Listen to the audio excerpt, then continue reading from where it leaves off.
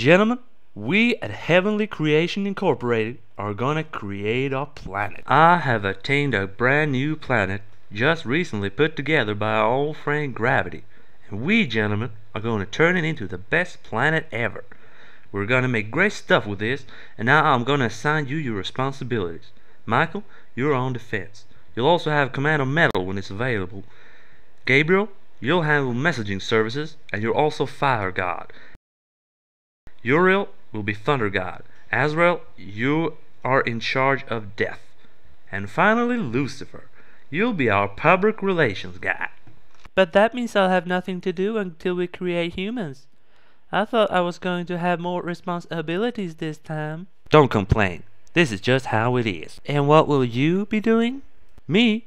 I'll supervise everything, of course. With my awesome power and experience, I'm the natural choice. I agree. Now shall we get started?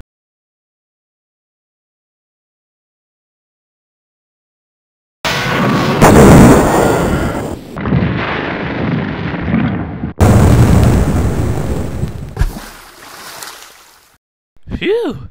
That was some piece of work. Well, I'm just flushed. I'm gonna take the day off. The rest of you can keep working.